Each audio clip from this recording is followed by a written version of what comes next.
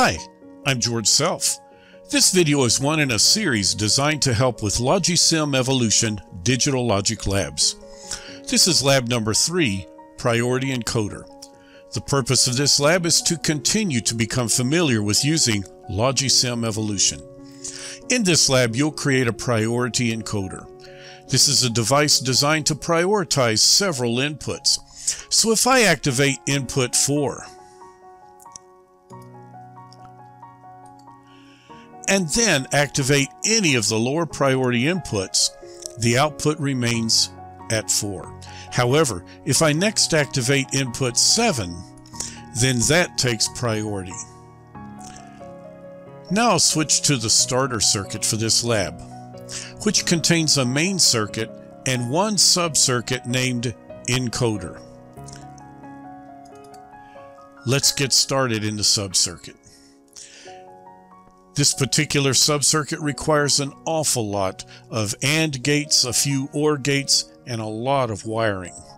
The first thing I want to do, I think, is grab all of these outputs and scoot them over to get them out of the way. Next, I need to place some AND gates. So I'll grab this first AND gate, drag it in, and drop it. Oh, I want to make this a narrow gate. And it needs to have five inputs. So I'll set up five inputs. And inputs two, three, and four need to be negated. Now for the time being, just follow the instructions in the manual. It's not going to make sense why this AND gate needed five inputs, why three of them had to be negated. However, once the circuit is complete, you can play around with it and figure out what each of these AND gates is doing. The last thing I want to do is label this AND gate so that later I can refer to it, and I'm going to label it U1. Now in electronic schematic diagrams, typically gates are labeled with a, a letter U and then a number. They start the numbering at the top left corner and go uh, across and down. Next, I want to place another AND gate. And again, I want this to be a narrow AND gate. This AND gate needs to have four inputs, and inputs two and three need to be negated.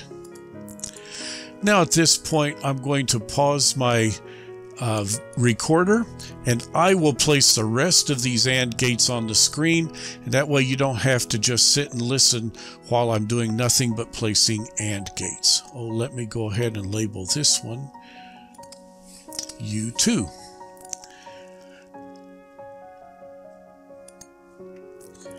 At this point, I've placed all of the AND gates and all of the OR gates necessary for the circuit.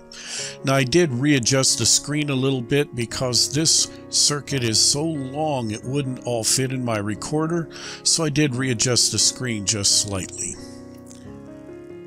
After we get all of the gates in there, we need to place nine inputs. Now they're already on the circuit, so all I need to do is just align those. And I see that input number nine needs to go in aligned up right with the bottom of U16. Input A goes in the top input port of U16. Input 7 is going to go into the top input of U12. Input 6 goes into the top input of U11. Input 5 goes into the top of U10. There we go. Input 4 goes into the top of U9. Input 3 goes in on the third leg of U6. So we put it down there. And again, these can be moved around as necessary as the circuit develops. Input 2 goes in the top of U5. And there that is. I think I need to go up one more spot. And input 1 goes in the very top of U1. And that should get all of our inputs lined up. Again, I can move those around a little bit if necessary.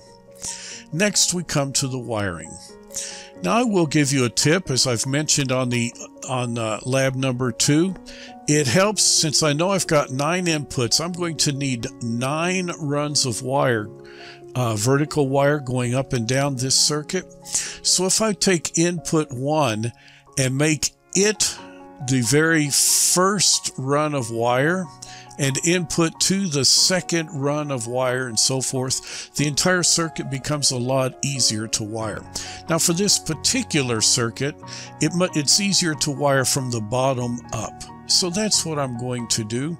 I'm going to start with this OR gate, come across, and this one's going all the way up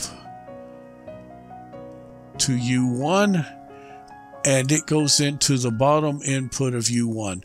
Now it's red because there's nothing connected to the input of this OR gate. Oh, let's go ahead and fix that. We'll just connect a couple of things here.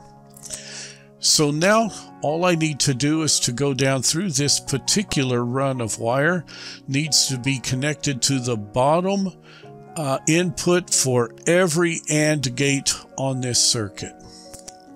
So I can do this this, this, this.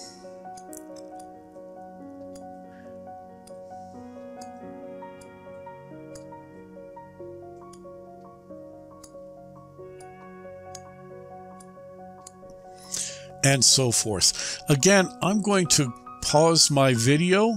I'm going to run all of these wires and then we'll start again. Okay, so now our wiring is all done. I will point out that I accidentally put the wrong gate in down here for U. Uh, what was the number on this particular gate? U16. This should have been a NOR gate instead of an OR gate. So as I put in my wires, I went ahead and swapped that out. By now, I trust you've realized that this particular circuit is really tough to wire because it's easy to get all of those wires confused. Now, if we go back though to our main circuit, we can drop in the encoder. And if I click on any of the inputs, it will in fact prioritize the output. That's about it for this lab. Good luck with it. Again, if you get frustrated, stop, ask for help, and I'll be glad to help you. I'll be seeing you online.